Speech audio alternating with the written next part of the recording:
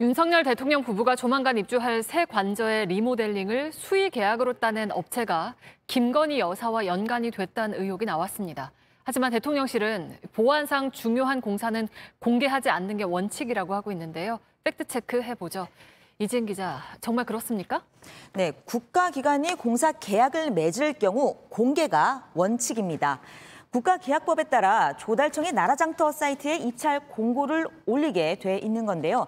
다만 보안상 필요하거나 국가기관의 행위를 비밀리에 할 필요가 있는 경우에 한해서는 수의계약을 할 수 있도록 돼 있고 경우에 따라서 수의계약 내용 자체를 비공개할 수도 있습니다.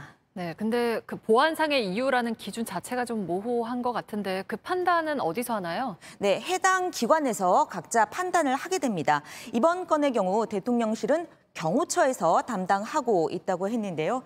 그동안 대통령실은 용산시 집무실 공사 등과 관련해 계약 내용을 거의 공개하지 않아 논란이 됐었죠.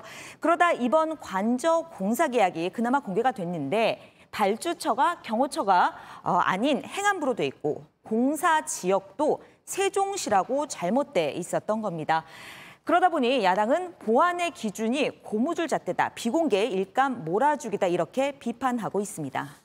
네, 그러면 이전 정부의 경우에는 어땠습니까? 네, 청와대 내부 시설에 입찰 공고가 여러 건 있었고요. 또 퇴임 후에 문재인 전 대통령의 경남 양산 사저에 경비 시스템 입찰 공고를 공개해서 어떤 업체가 하는지 또 공사 금액이 얼마인지도 알 수 있었습니다. 다만 지난 정부 경우에도 이 청와대 공사와 관련해 비공개로 계약을 맺은 게 몇 건인지 확인할 수는 없었습니다. 네, 뭐 그것도 역시 보안상의 이유로 공개를 할지 말지 자체적으로 판단을 할 수가 있기 때문이라는 거죠.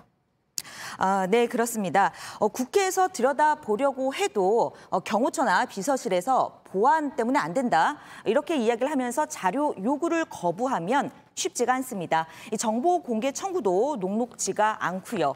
그래서 보안이라는 이유로 비공개 수익 계약을 할 경우라도 그 사유를 국회에 보고하고 만약 보안의 필요성이 없다고 판단되면 공개하도록 하는 법안이 뒤늦게 제출되기는 했습니다. 하지만 아직 처리되지는 않은 상황입니다. 네, 뭐 물론 보안상의 이유로 공개를 할 수 없는 공사들이 있을 수는 있겠습니다만은 뭐 국민들 세금이 들어가는 일인 만큼 최소한의 견제 장치는 필요해 보이네요. 네. 팩트체크 이지은 기자였습니다.